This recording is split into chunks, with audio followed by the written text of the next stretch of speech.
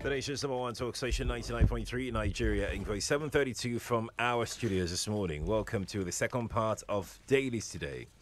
Uh, guess what? You can watch us live on Facebook and on YouTube. Nigeria Info 99.3 is how you can join us virtually this morning. Nigeria Info 99.3. So, Lagos, you're welcome to the show. I'm Sheriff Quadry. I'm Jimi Disu. Good morning. Let's get started. Um, we're going to start with uh, this story here from the Vanguard newspaper. Um, it's on page five of the Vanguard.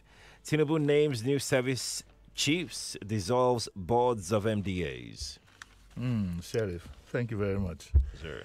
Yes, um, okay, I'm sure most of you know the names. I mean, so I might not just want to repeat it uh, so that we can have enough time to look at the issues that have uh, the consequent issues.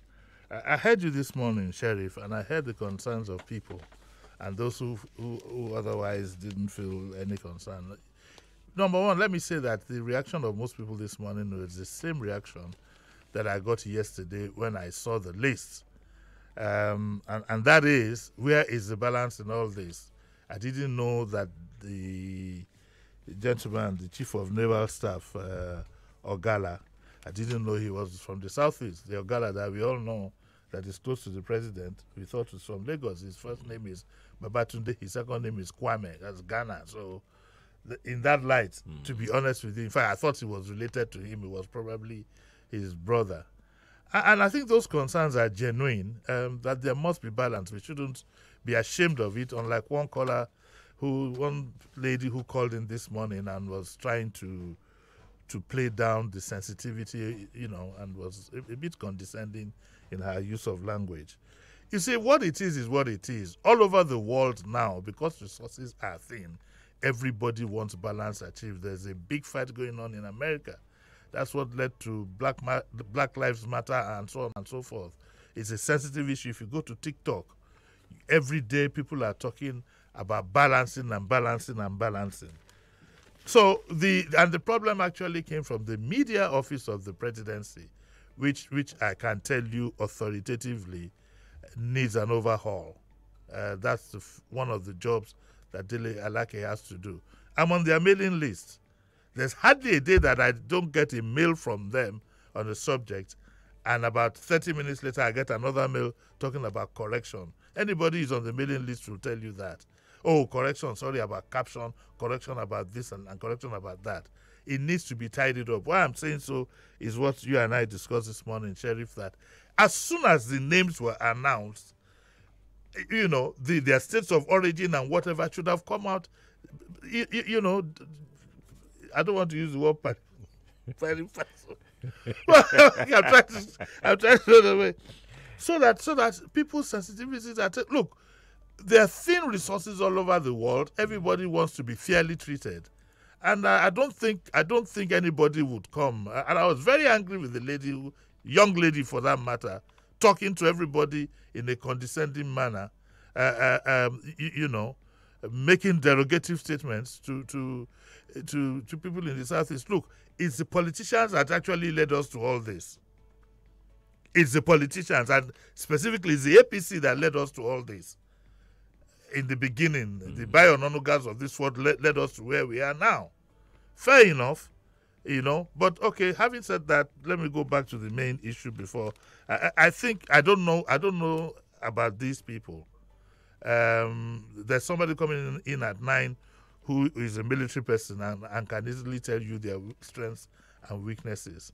So as far as far as I'm concerned, for me, I would assume that any major general can be a service chief. If you've gotten to if you've gotten to major general and you are not a service chief, then you don't have a problem. The army or the navy or the air force or whatever has the problem. Um, so we have the announcement um, other announcements also came out. You had, um, apart from the service chiefs, you had the, the Army Brigade of Guards on Osoya. Um, is the commander, uh, uh, Abiodun Yusuf, is the 7, seven Guards Battalion Asokoro. Um, well, the military guy will sort out all these uh, names here. And you have As- Akin, Akin Beshote some of these names. Olumide Akingbesote, okay, is 176 Guards Battalion, and so on and so forth. I'm seeing a hint of a personal interest in some of these appointments, these military appointments. I'm seeing a hint in that. I'm not talking of the service chiefs now. And I think that the, the, the president, eh, you know, is also thinking of his own safety. Mm. You understand, Mhm. uh, which is Mhm. valid Mhm. because it's skewed towards the southwest. I mean, let's let's call a spade a spade. Uh, but we will let that slide uh, because the man. And don't forget, don't forget um, that there's still the court case, and there's still the fear of what might happen, uh, what could, uh, hopefully not, uh, happen, and therefore he, you know, he will be most inclined to want to put his loyalists. Uh, Hadiza Bala Usman made made the list. Uh, she's special advisor, policy coordination. Hanatu Musa is special advisor, culture and entertainment economy. That's a new one on me, culture and entertainment economy. Uh, there's Senator Abdullahi Abubakar Gumel, who is SSA National Assembly. There's Olanrewaju Kunle Ibrahim, who is SSA National Assembly, and so on and so forth. In the other announcements, at a glance, I- don't see any representation of the Southeast, and I think whether we like it or not, we must keep insisting on balance. Uh, we must also realize that Nigeria is not is not uh, um, is not a what do you call these small companies? These companies that are not limited liabilities. It's not a one man business. Mm. Nigeria is a limited liability with loads of shareholders whose interests have to be taken. We have no apologies for it. Do not allow yourself to be cowed by those who think that you are making a fuss. I'm talking to eh, in any form, any manner. You must fight for proper representation. It's valid. If some people don't like it, too bad. And, and I think fair is fair. If we don't achieve balance, what it just means. Look, let me give you an example of what life is life is like. Sometimes you're on an aircraft and they tell you that, oh, Mr. Disu, could you please get up from that seat and move to that other seat until after takeoff? Why do they do that? For balance. If you don't have a balance, you will have turbulence. So, well, I wish Nigeria luck. Here we go again. There'll be much, much more um, announcements to be made, and I hope a better balance will be put in place. Let's go take a look at a couple of stories in the punch. Yes, sir. You seek Sanwo-Olu's intervention on abandoned projects. We seek Sanwo-Olu's intervention in many things. I've been struggling, fighting. People have been bothering me on Twitter. I've been fighting, calling on the Lagos State Governor to please, please, please do something about this traffic, the road constructions going on. Not only has nothing been done, it's been quite impolite of the government not to respond to these things because most of them they are directed at the governor through Twitter, and and I don't think he would pretend that he hasn't seen them. I think we need to tell him that if for if for any reason life is this uncomfortable for your citizens, the least you can do is to explain to them why. We haven't had such an explanation. We've been totally ignored, but we'll keep at it. We'll keep at it. We can't afford to wait like this until the next election comes when everybody will be scoring to impress to impress us all. So we, we will keep at it. Uh, we'd like more people who feel concerned to express their concerns, you, you know, about traffic, about the roads.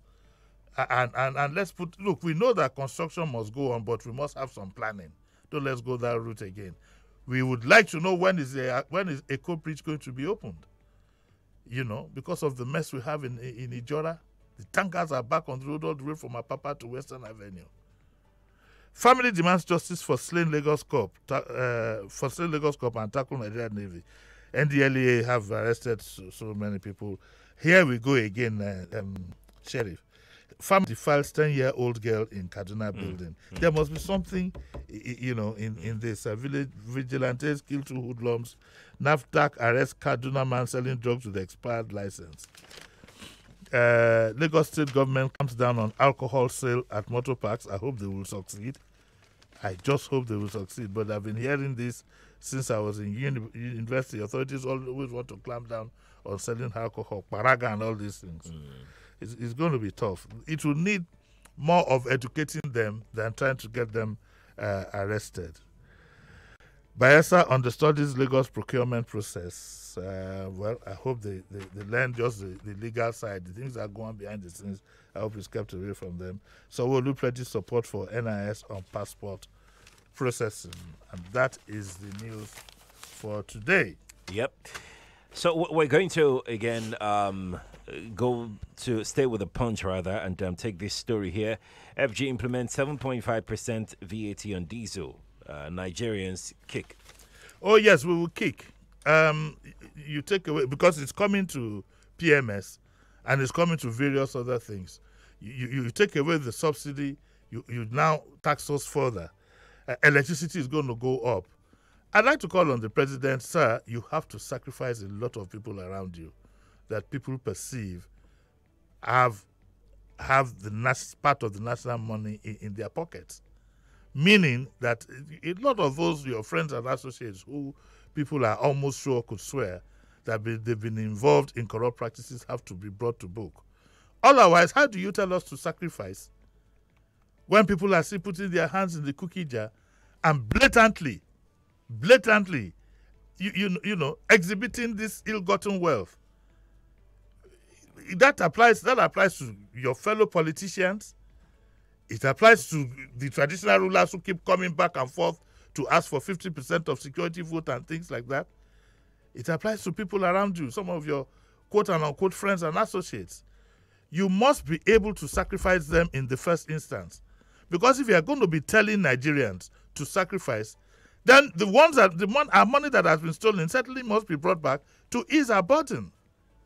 So that is where I'm what I'm thinking of this morning that uh, to, to say, Mr. President, all these things, you know, we are happy. Some of the announcements you're making, the measures, Nigerians are backing you.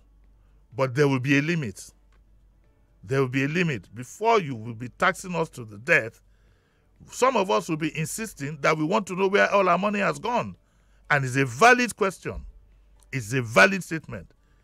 Uh, it's a very, very valid statement. And that is where people's activism should be. Speak up speak up when when this i didn't say do anything but at least at the very least speak up to, for us to achieve a balance. If you don't if you keep quiet about some of these things going on you will suffer for it. That's where we are today. When a lot of people you know suspected that there was something going wrong with the subsidy or whatever everybody was complicit. Who is facing it today now? Is us. So once you know i'd like the government to go slow with this idea of taxes the burden as it is is killing. And i don't believe that subsidies are bad. The problem we had with the petroleum subsidy, over and above everything, was implementation. And we can't say because the implementation is warped, therefore nothing nothing to help citizens in this country, in health, in other areas. Okay, so that's that's you know that, that's my take on, on on this. Did you want to add anything? Not at all. Okay. I was just going to say that. Uh, And you don't want to add, but wait, you want to wait. say. I just, I just, I just wanted to say that. Um, well, it's it's legal, it's lawful because that's what is contained in the Petroleum Industry Act. Uh, that's what the president just did. Um, so yeah, maybe the timeliness, yeah, that could have been a major consideration on the part of the president. Um, because I mean, look, you just removed the subsidy on petrol. Now you're adding 7.5% on top of diesel, which means that for those who are saying, okay, so diesel, the this thing does not affect us, this thing on petrol does not affect us. Diesel that moves most of the goods, most of because diesel actually moves most of things, which means that the rail service that people are using now as an alternative will most likely go up. The rail, the um, train fee will most likely go up with 7.5% um, tax added to it uh, and some other good stuff as as well. The pr- their prices w- would go up as Yeah. well. So yeah, that's basically the consequence of this. Maybe the timeliness. Well, well, well. Look, the, the law is one thing. The law, unfortunately, in Nigeria deals with people figuratively. It doesn't look at the human aspect. As at the last count at 11 a.m. yesterday, 15 people had asked me for money. As at 11 a.m. 11 a.m. You were counting. I was counting Where were you counting? Just for the records, you, you know. As at 11 a.m., even this morning, as I woke up uh, on, on Facebook, I got somebody else again asking me for 5K. And if these people, if you know who, who, who these people are, we are in serious trouble. Mm, yes, we are. So we mean, need no- we, no we also we always need we also need to look at the human aspect of these things. What is what exactly is doable? It's gotten to a point that just have been squeezed to a point where life is almost coming out of them. You can't cook, you can't buy uh, prepared food. Everything is expensive. So Prices um, have hit the roof. uh, when I saw this news yesterday, uh, and I I've been I think I will treat this. I'll remove one of the topics that I have for next week. Yes. Because I'm looking at how this government wants to run the government without borrowing. We are already in serious debt crisis, especially with the devaluation of the naira. It's moved from about 40 trillion or so to about 80 something trillion now, our debt burden in naira, which is humongous, unbelievably humongous. So I was thinking yesterday, okay, so how are they going to Can I run this proffer government? a simple solution? It's simplistic. It's idiotic. It's stupid. Okay, it shows a lack of deep thinking. Well, I'll tell you what it is. If we had a government that was ready for all it takes to go after Nigeria's stolen money, believe you me, there'll be some relief. If you had a government that was ready, that okay, look, we don't we don't want to feed anybody in jail. Mm. You know, that's why sometimes some of us miss governments in the past. If you get my euphemism, we miss governments in the past where you could do things by decree. The amount of Nigerian money that has been stolen can turn this country around if we get just one third of it. Look at him. Look, a, a minister is on trial, has been on trial for about four, four, four, how many- only goes how many years. He's still in the National Assembly. 90, what was it? 90 something billion or something like that. That's one individual. That's not the oil sector. Let's let, let's face it. If we had, if we the day we will have a government that will say, look, we are going to have to do some extrajudicial things hmm. to get Nigeria's money back. We have loads of billionaires, loads of them. Unfortunately, they don't set up industry, they don't set up anything. It's just to load the money. The, you had the, the you, did you have you forgotten the man that has 40 houses? That that one that is in, in jail in, in, in the UK. Did you did, did you hear about the civil servant that had plenty, plenty, plenty? There was money? a there was a civil servant um on, level level 12 I think. A woman. Yeah, a on lady, level yeah, 12. yeah. Level 12. It's She had an one. estate in It's the same one I was talking about. Yeah. It's the same person. Yeah. Oh, Mwangwe. No, ah, mo- mo- about- ah, what is this? It, it has a whole estate yeah, of about was it not 80 houses or so? plenty. plenty. If you have, if you, the devil will have a leader, and it cannot, it cannot happen in this political dispensation, because they are all same of same to a large extent. Let's be honest with ourselves. No politician will have what you call the lever to do it. But the day we have a leader who will say, "Look, I, I, I, I'm only, I don't even want a four-year term. I just need a two-year term." and I'm going after these people for our money. We just want our money back. We don't want to throw them in jail or anything. We want our money back. And we'll do. That's why. Why do you think people like us supported Buhari when he came out? Do you know what he did? you were hoping for something different. Do, yes, now because when he was when he was head of state, we don't know whether he's the one now, whether it's Buhari, I don't know. But when he was head of state and we were looking for Nigeria's money, Dikko was supposed to be hiding in the UK. He put him in a crate. Oh. but boys was taking a stroll around the corner. They just grabbed him, put him in a crate, got to the airport. We are going to load him up. Unfortunately, ah, there was dancing. That was I was proud of my country. It's a pity the Buhari that we see now. I was proud of my country in the days of why, Y- you know, grabbing everybody. These are not time for any legal, legal. If you go through the legal manner, they'll lock you down. They have enough resources to lock you down forever. They'll even go to the West African Court, go to International Criminal Court, all kinds of things. But extrajudicial manner.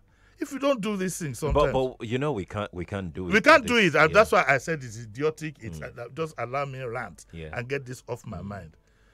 But then again, who knows? I, I doubt it. I, I think that Who knows? I think that I'm not calling for it.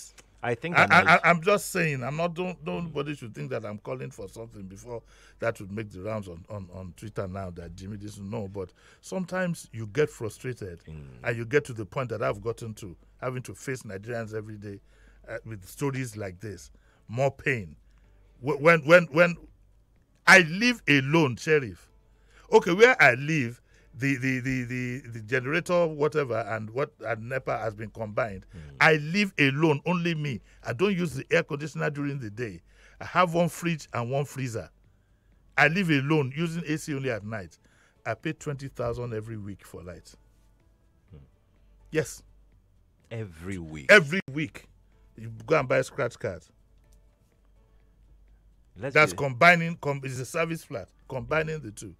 That's every week. You're thinking about how much I have in my pocket. Yeah, well, I was going to say, I was going to say, I can find you better alternative. oh, Just be giving me that 20k. Ah, then what will you do? I have to come and say your leave face. it that Oh, my age will.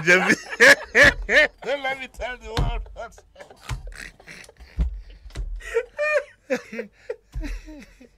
I, I, It- think it I think we should brace up for a very um, difficult year. See, the government, I still maintain, even if it's for symbolic reasons, have to do something to, to keep people's mind at rest. The money is just not there. It exactly. The, the It's money is just not, not there. there. The money is not there. Just not there. The money is not there. Are we going to wait until we start eating ourselves? Actually, if it you get better, this is not tozo, you know. Let's go to the next. my God. Please don't listen to him. oh. There's no Tozo anywhere. oh. I'm not I'm looking at- available. I'm looking like this. I'm uh, not you go to the market and Sheriff. ni- this is-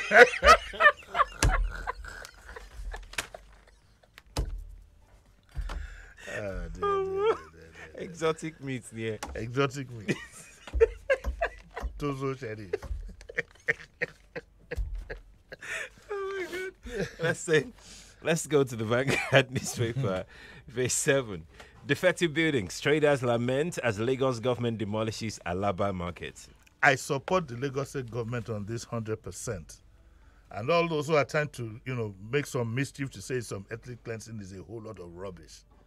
Any human being who drives along the Alaba Road here or Idioro, so many of them are Lagos Island, Balogun, nobody in his sane mind in the first instance should have seen those buildings going up. Minus the cracks. Visually some of them don't have a staircase. You now take it put a, some iron staircase from outside. You, you can't mm, continue to mm, live like that. Mm. if you say that it's the business of those who own the buildings what about those who go to buy things from there? What about those who are just walking by? Or are you going to tell them not to walk by? we must have some discipline and i would like the government to be resolute and not submit to any blackmail on this matter if if we keep harping on the government to say that we want things done, it must start from somewhere. And I am with them hundred percent on this. Hundred percent. As usual, people are lamenting. In the first place, I ask myself, how do some Nigerians feel comfortable waking up in the morning and going to the to some of these so-called markets to trade their business? You don't need to look too far to know that this building is likely to come down. You know so i'm glad i'm glad at what is happening it says angry reactions um greeted uh the, the- you know the demolition has been on since la- last um friday by a lagos state building control agency LASBCA yeah, i'd like them to keep at it to keep at it but lagos state government as you're doing these things also please and for god's sake find a solution to this traffic and environmental problem but with this one oh, Go on. They should just go on. Yeah. Um, we have. Uh, okay, you know what? Let's just take this story. We're not going to talk much about them because we're out of time. Uh, raise standards of journalism. NPAN tells NGE president as guild of editors. Anaba. Yes, Anaba, Anaba, uh, Anaba, congratulations. You must find a way. You are the editors, okay? You are like the last gate before things come out. You must find a way to improve this profession. We can't continue like this. I'll have a whole one hour on it. Maybe I'll bring Eze Anaba himself to come and tell us. Uh, um, if you don't have a virile press, if you have a press that submits to brown envelope and mediocrity, your nation is gone gone completely. So Eze Anaba, one more time, congratulations. We need you here. One hour, come and tell us what exactly. Don't worry, I'll grab it. Mm, Uh, fantastic. grab that that would be nice. That's our show today, though. We can't go further than this. Thank you so much for coming. You're Thank back you, at sir. nine. Yes, um, Um, we're doing an analysis of the um, Service chiefs. of service chiefs and also the Asari Dokubo thing, okay. the implications to the military. We're doing that at nine. Alrighty. I don't need to tell you who will be coming. You know what I mean? Captain Blade. Yes, now. Yeah. That's our show, Lagos. Um, let's take a break. Uh, we'll bring you the news at the top of the hour. After the news, we'll have former DSS Director uh, Mike Ejiofor also speak to us on the appointment of new service chiefs, Nuhu Ribadu as NSA, and the concerns of some people, and a whole lot more. Stay here. We all have that one friend that always hides everything from everyone else. Like my guy, Sheung, that's got one gig free date. And I want to assume that you would run because I want to give the listeners context for the conversation. In 2019, you were running mate to um, Atiku Abubakar. What did you learn then that you will not repeat this time? Yes, when is the president coming out to address us? There's a few things. One, I have a burden and a passion for young people. The fact that you have elected a man does not mean then you begin to order him around. The president will do whatever is good for the country at any given time. Mr. Adeshino, isn't the president responsible to the people? What should the next president do to root out stakeholders who are complicit? You fire those. Those that need to be fired are fired. It's looking like a brand new Chelsea, attacking with so much fluidity. And what can you say about that, Martin? I know you follow Chelsea quite closely. I live close to the Chelsea training ground. That's what you mean by that. I'm not. a Chelsea